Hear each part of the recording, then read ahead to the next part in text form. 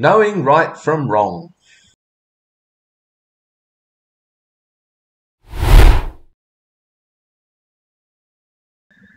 Yes, the question of morality rears its head again. It never seems to go away completely.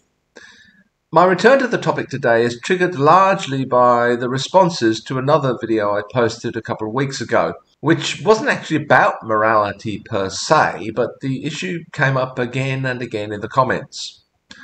Although my video wasn't about this topic, the comments tended to focus on one small element of the video, namely the question of whether God's actions, as reported in the Old Testament, were morally defensible. Mostly people responded to the video by trying to do just that, to defend God. Although my video was actually arguing that they didn't need to do that if they took a different approach to the Bible. I don't want to go over all that again here. But many of the comments did get me thinking again about the question of morality. Crudely put, knowing right from wrong. Although I think the question is much more complicated and more nuanced than that.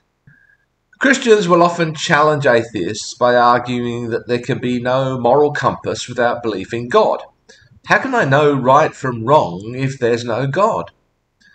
I've argued in another video that I think our innate sense of morality evolved along with our need to cooperate. Cooperation clearly has fitness benefits, but once you start to cooperate, you begin to need all kinds of rules to enable that to happen. Again, I'm not going to go over all this again.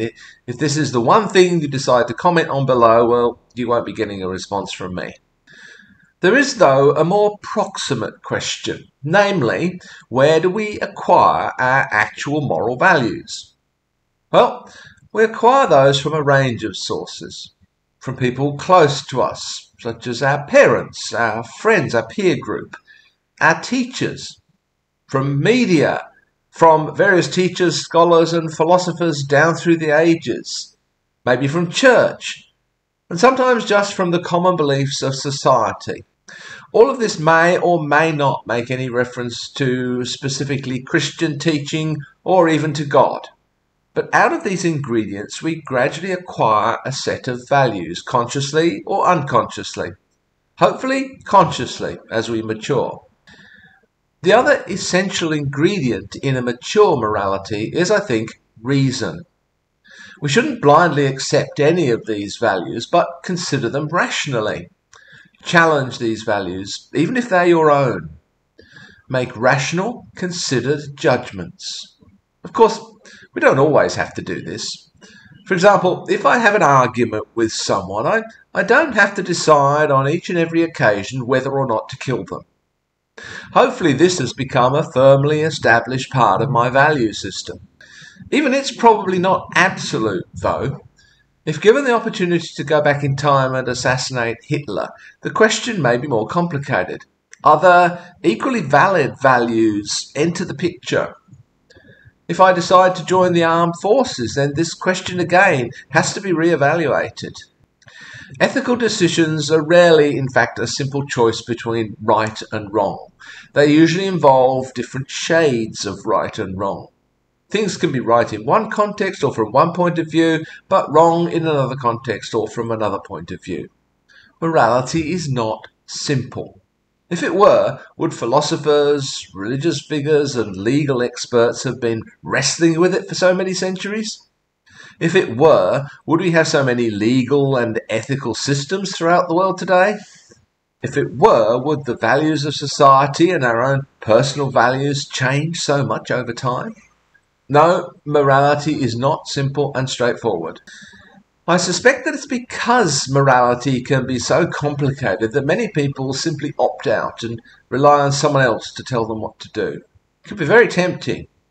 It can also be very tempting to try to turn everything into simple either or, good or evil, black and white choices. But the world doesn't work like that. The temptation to surrender to an external authoritative figure, whether a human autocrat or a divine being, can be very strong. Who wants to make the hard choices, right? Or, if you've already made your decision based on who knows what criteria, who wants to have to provide a rational basis for their decision? So much easier to point to another external authority, It is written. God commanded. Having unquestioning blind faith in an external authority is a sign of moral immaturity. It's also very dangerous. God commanded me to do it won't get you acquitted in a human court, though it might get you admitted to a psychiatric institution. Unfortunately, those who might make such a claim probably wouldn't care much about the decision of a secular court because, you know, they answer to a higher authority. Just as Christians often challenge atheists to explain where they get their sense of morality from if they don't believe in God, so too atheists often challenge Christians by asking them questions like this. If God commanded you to go into a school and shoot all the children, would you do it? Unfortunately, most Christians, or at least the Christians who tend to leave comments on videos like this, won't answer this with a clear, resounding no. They usually try to get around it by arguing that God would never command such a thing. But they can't be basing this on God's past behaviour, particularly as depicted in the Old Testament. They also can't be basing this on the behaviour of past Christians who frequently committed equally horrendous acts in the name of God. No, when they say that God would never command such an act, they are in fact appealing to a value system. They're basing this on the deep seated idea that such an act would be abhorrent, intrinsically evil, and that God would never command such an evil act. This value clearly arises from somewhere outside God. God Himself is subject to it. Thankfully, most Christians actually do also have an intrinsic sense of right and wrong. Of course, there are always those few who would answer yes to this question. They would argue that God must have some higher purpose, though they might not know what that purpose is at the time. They might even argue, and I have heard some argue this, that this act wouldn't in fact harm anyone because these children would immediately go to be with God in a better place, free of this world of evil and suffering. If you hear that, and don't think that it's morally abhorrent, I suggest you seek help. Fortunately, most people recognize that this is indeed morally abhorrent, and they do so because of an intrinsic sense of right and wrong, the precise content of which was shaped as they grew up.